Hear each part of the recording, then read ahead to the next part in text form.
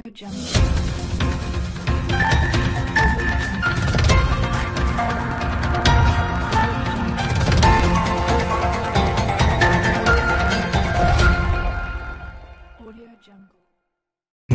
आप सबका स्वागत है। इटली में हुई शादी के बाद अनुष्का शर्मा की फैमिली इंडिया वापस आ गई है।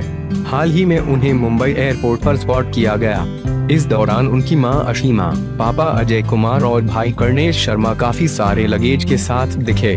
बता दें 11 दिसंबर को अनुष्का शर्मा और विराट कोहली ने इटली में सीक्रेट शादी की, जहाँ सिर्फ़ चुनिंदा लोगों को ही इनवाइट किया गया था।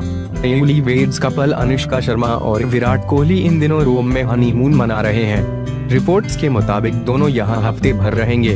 हनीमून से लौटने के बाद अनुष्का विराट की शादी के दो रिसेप्शन ऑर्गेनाइज होंगे। पहला वेडिंग रिसेप्शन 21 दिसंबर को दिल्ली में होगा। यह विराट अनुष्का के रिश्तेदारों के लिए होगा। दूसरा रिसेप्शन 26 दिसंबर को मुंबई में होगा। ये बॉलीवुड और क्रिकेट वर्ल्ड की हस्तियों के लिए होगा।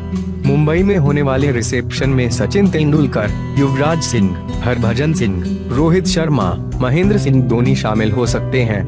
बॉलीवुड से आदित्य चोपड़ा, रानी मुखर्जी, अमिताभ बच्चन, शाहरुख खान, आमिर खान शामिल हो सकते हैं।